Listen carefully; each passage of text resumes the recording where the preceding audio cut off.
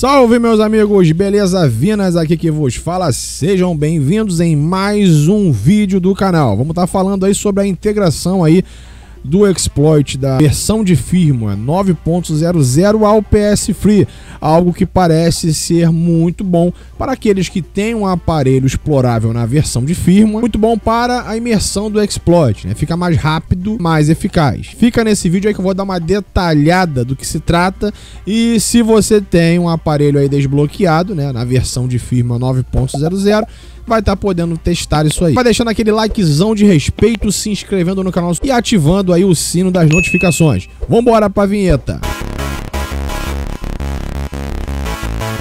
Queria avisar que a nossa ação do PS5 acabou. Queria agradecer a todos vocês que participaram e avisar que o sorteio será nesse sábado, dia 3, às 18h30 está abrindo uma live transmitindo o sorteio da Caixa Econômica Federal do primeiro prêmio. Uma boa sorte para todos que participaram. E até a próxima ação.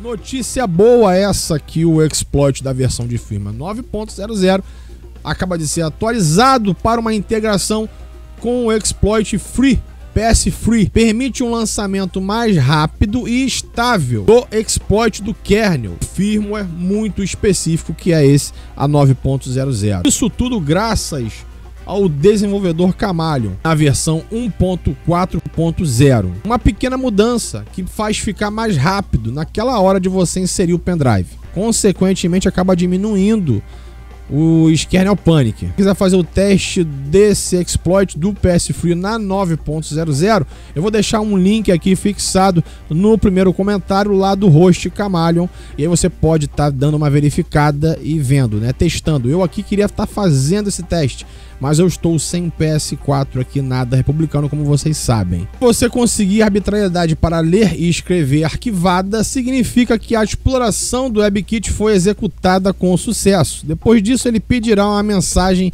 de inserção do USB habitual.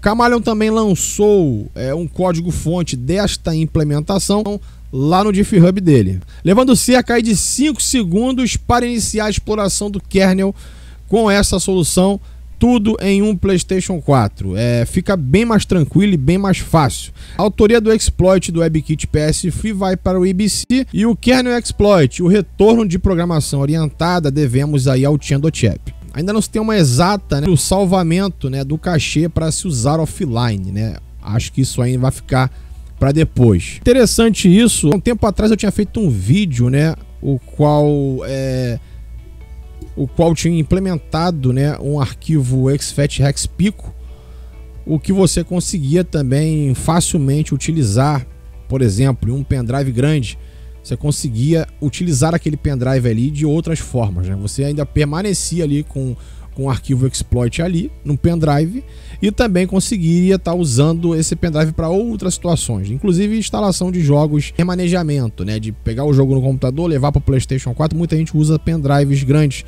pendrives é, de 64 GB ou mais para estar tá fazendo isso. HD também, né? HD externo. E você conseguindo colocar um arquivo exFAT Hex Pico exatamente nesse dispositivo, né? O que é um arquivo assim, basicamente muito pequeno, são kbytes, né? Nem megabytes é, e eu cheguei a fazer um vídeo há um tempo atrás, eu achei sensacional esse trabalho, apesar de que funcionou muito bem, não teve muito kernel panic, né?